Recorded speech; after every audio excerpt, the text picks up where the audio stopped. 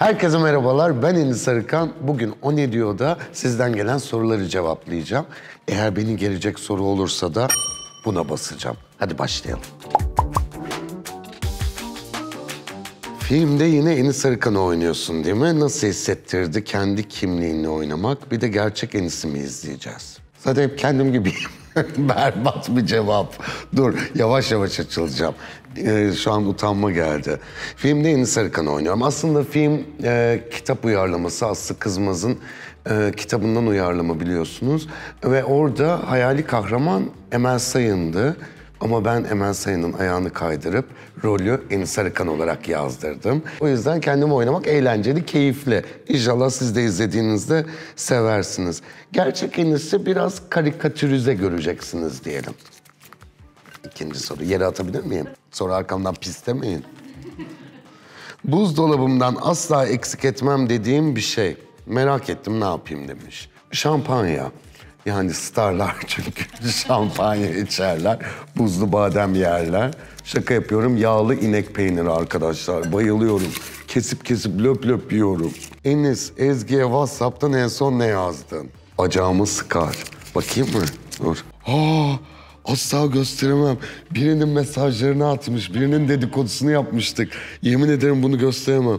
Bakayım hakaret etmiş miyiz? Ha bana şeyi atmış. İşte medya takibe girmiş hakkında ne haber var diye. Sadece Enis Sarıkan korona oldu haberi çıkmış. Kendini araştırırken sadece ben çıkmışım.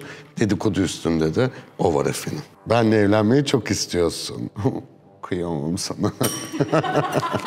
Enis çok utangaç birine benziyorsun öyle misin? Kalabalık ortamlarda bunu yüz kere söyledim. Hiç tek başıma kalamıyorum. Yanımda biri olmadan hiçbir yere gidemiyorum. İnsanlar bana baktığında çok utanıyorum ve sokakta biraz soğuk buluyorlar beni. Çünkü ilk başta bir iletişim problemi yaşıyorum, utanıyorum. Ama böyle iki üç kere görülenim hemen zaten e, kucağınızda yaşarım, sarılırım, öperim. Öyle bir tipim. Ben de ne olduğumu bilmiyorum. Yıllardır arıyorum. Hep en sevdiğim işlerde oynadın. Her girdiğin yer güzelleşiyor çiçeğim. Sana kurban olurum. Daha neler neler yapmak istiyorsun? Biraz dinleneceğim diyor musun? Biraz dinlenemem. Dinlendiğim zaman depresyona giriyorum. Her gün çalışmam gerekiyor.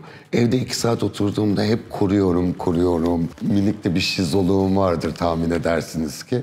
Hep böyle deli gibi kuruyorum. O yüzden çalışmak bana iyi geliyor. O yüzden hiç dinlenmek istemiyorum. Yani hiç Gram yemin ederim meşhurluk falan umurumda değil. Yani sadece çalışmak için çalışıyorum. Yeter ki oyalanayım da şu kafa kurmasın be kardeşim. Bunu yapmadan bu dünyadan gitmek istemem dediğiniz bir şey var mı? Aslında çok fazla hayalim yok. Nedense bütün hayallerime ulaşmış gibiyim. Hatta psikoloğa başladım sırf bu yüzden. Her şey bitti gibi geliyor ve hayal kurmayı bıraktım. Ama bir tane küçük bir hayalim var. Bir hikayem var, onu film yapmak istiyorum. Bence çok çok güçlü bir hikaye. Hatta dün menajerimle bunun kararını aldık. Buna başlayacağız. Enis şimdi sana çok önemli bir soru soracağım. Oy ne kadar önemli olabilir. Yakın arkadaşlarını dereceye göre sıralamanı istiyorum. Yılan. Bak bu, bu yılanlıktır.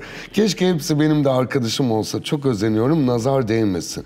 Abi hepsi oyuncu olduğu için çok keyifliler. Yani dünyanın en güzel şeyi oyuncularla arkadaşlık etmek. Yani daha iyi bir muhabbet, sohbet, o rahatlık. Bir de biz hepimiz çocukluk arkadaşı olduğumuz için e, hepimiz konservatuvarda yan yana oturuyorduk.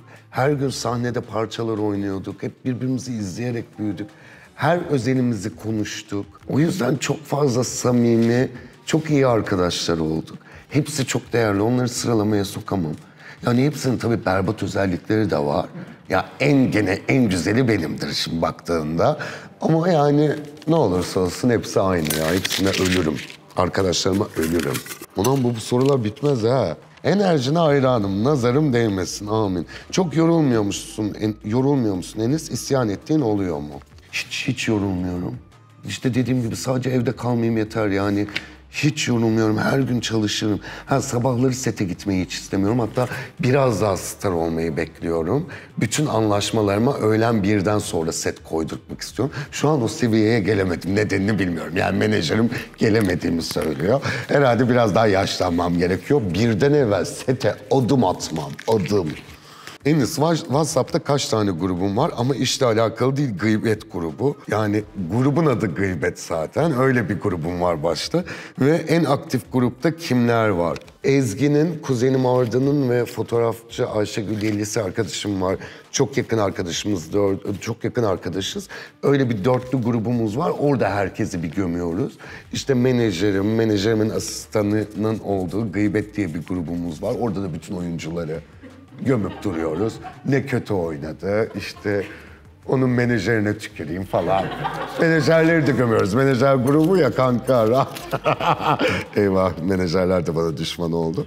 Öyle çok grubum var. Ben fesatlık olduğumu bayılıyorum arkadaşlar. En sevdiğim şey.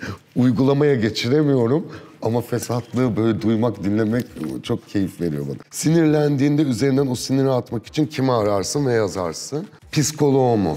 Yani gidiyorum ona ben sinirlendim falan diyorum. Bir de son zamanlarda iyice sinirlenmeye başladım her şey. Aslında çok şeyim alınmıştı, sinirlerim alınmış gibiydi. Sonra psikoloğum bana artık sinirlenmem gerektiğini, bir şeylere tepki göstermem gerektiğini, düşündüğünü söylemem, düşündüğümü söylemem gerektiğini söyleyince artık biraz harekete geçtim. Ayağınızı denk alın. Vallahi ümüğünüzü sıkarım sizin ona göre. Kötü soru gelip ağlarmış. Filmde sana en yakın veya en gerçek olan olay neydi? Neydi o zor soru. Filmde sana yakın veya gerçek gelen olay neydi? Hazal Kaya çok gerçekti. Ya böyle 2-3 sahnede Hazal'ı izlerken olan bu kadar gerçek bir yerden oynayamaz diye e, hayran kaldığım anlar oldu. O çok güzeldi. Hazal'ı izlerken çok keyif alacaksınız. Bambaşka ve çok güçlü, çok başka bir Hazal göreceksiniz bence. İzlemekten keyif aldığın Türk oyunculardan en az üç tane sayar mısın? Flash TV'deki o sigaradan sararmış amca, o sarı bıyık, bayılıyorum, ölürüm. İkinci en favori oyuncu Bahar Candan abi.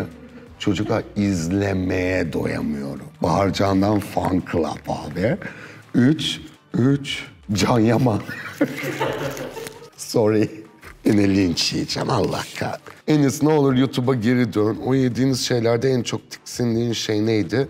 Bence dana diliydi. Ezgi ile birlikte bir YouTube çekmiştik ve orada tabii ki yurt dışından gördüğümüz şeyleri uygulayıp duruyoruz ya. Ee, orada işte dana dili, e, e, eşek götü gibi şeyler vardı. Buraya bip koyarsınız ve onları yemeye çalıştık. O yüzden ben hepsinden çok huylandım. İlmi spoiler vermeden kısa kısaca özetleyebilir misin? Kitabı severek okuduk gerçi biliyorum. Ama olsun senden de dinleyelim. Film spoiler vermeden. Ya çok fazla e, kitap okuyan insan var. Yani uzun süre raflarda bir numaradaydı kitap. Ama şunu söyleyebilirim. Bir 20'li yaşların sonlarında bir genç kızın yapmaması gereken bütün hataları yaptığı bir film diyelim. Bize filmden bir olay söyle. Şöyle çok detaya girmeden izlediğimizde hangisi olduğunu biz anlayalım ve orada seni hatırlayalım. Allah belanı versin, Allah seni kahretsin. Bunu dinleyince anlayacaksınız, izleyince de olabilir. tatil storylerinizde çok eğleniyorum. Favori tatil hikayen varsa anlatır mısın? Bir de seni çok seviyorum. Kurban olurum. Bir de şöyle bir kalp çizmiş. Şu kalbe de çok gülerim ben. Tersten kalp olmuyor çocuklar. Bunu yapmayın yandan. Ezgi'yle detoks kampına gitmiştik. Hem tatil yapıp hem de böyle sıvı beslenerek 4 günde 127 kilo vermeye hedeflemiştik. Çocuklar her saat başı ya ben bayılıyordum ya Ezgi. Ezgi durup durup bayılıyor ve en son hiç unutmam oteldeyiz. Buzdolabımızı boşaltmışlar otel odamızda. Bir tek su koymuşlar. Onu onda e, berbat çikolatalar falan olur ya zıkkımlanırsın onu. Bizde sıfır şey ve sonra biz mutlu olalım diye e, otelde dolaşmaya başladık. Detoks yapmayan insanların katlarına çıkıp oradaki yemek artıklarını açıp bakın size yemin ediyorum. Kapağını açıp kapıya koymuşlar. Yemiş koymuş. Eşoğlu beş kulak. Açıp biz böyle Allah'ım bir tane patates bırakmış. Şimdi bunu ya almalı mıyız? Bundan gelen mikroptan bir şey olur mu falan diye her gün gidip milletin şeyine bakıyorduk erzağına. Yani berbat bir tatildi. O patatesi de yiyemedik yani milletin artığını ama baktık çok baktık. Filmde bol bol varsın değil mi? Senin için gideceğim sırf. Fragmana beni çok fazla koymamışlar. Bundan dava açmayı düşünüyorum öncelikle. İnanılmaz hırslandım ultrastar olduğum için ama belli etmedim. Asaletimle sustum. Aslında filmde çok varım. Ama fragmanda bir, beni bir gariban kullanmışlar anlamadım. Belki de Azal Kaya ayağımı kaydırdı arkadaşa hiç haberim yok. Benden ne olur son set gününü hatırlıyor musun? Bitti diye üzüldüğüm bir set miydi? Hiç değildi. Çok sevindim bitmesine. Çünkü gerçekten çok çalıştık ve çok yorulduk. Ve benim son set günümdü. Abi Hazal dünyanın en hırslı hatunundur ve çok komikti. Gerçekten gizli komikti. Bana böyle yaptı. Allah'ım nasip etmesin senin bu setten gitmeni. İnşallah gidemezsin. Son güne kadar benle kalırsın, sürünürsün. Durmadan böyle beddualar ediyor. Kızım dedim son sahnemi çekeceğim şimdi. Ben gidiyorum ya bana bulaşma. Ben kurtuldum falan. İnşallah gidemezsin dedi. Neyse Enis Bey hadi siz son sahnenizi alalım dedi. Hazal elimi tuttu. Biz böyle böyle seke seke sete gidiyoruz. Ben gene çok mutluyum. Hazal, Hazal hırslı. Neyse tam böyle mekana girdik. Merdivenlerden inerken yapımcının böyle yukarı koştuğunu gördüm. Biz Hazal'la gene el eleyiz gereksiz. Böyle yaptı sakın sete girmeyin dedi. Neden dedim? Sette korona çıktı dedi. Hazal böyle yapıyor. Allah'ım sana şükürler olsun. Gidemiyor bu herif buradan gidemiyor falan dedi. Dedim ki kızım ne göz varmış sende. Ve gerçekten sonra bayağı insan korona çıktı ve koronanın ilk zamanlarıydı. Bayağı bir dönem sete gidemedim. Sonra işte bir ay, iki ay sonra tekrar sahnelerim çekildi falan. O set bitmek bilmedi anlayacağınız. Hazal Kaya ile film setinden birkaç aklında kalan anı. Hatıra anlatır mısın Enis ne olur? Arkadaşlar bu glutensiz vegan falan öyle şeylere bayılıyor. Öyle besleniyorum diyor.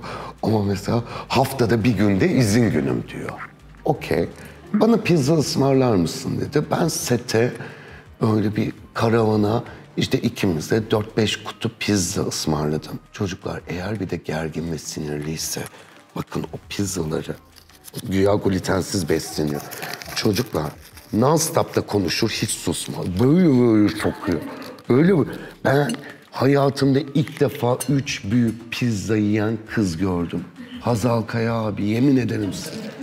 Müjdat Gezen sana kimleri kattı, orada eğitim almak nasıldı bahseder misin? Benim tek bir hayalim vardı arkadaşlar. Bir tek Müjdat Gezen'in konservatuar bölümünde okumaktı. O dört yıllık tarafında. Çünkü ne İstanbul Üniversitesi ne Mimar Sinan hiçbiri gözümde yoktu.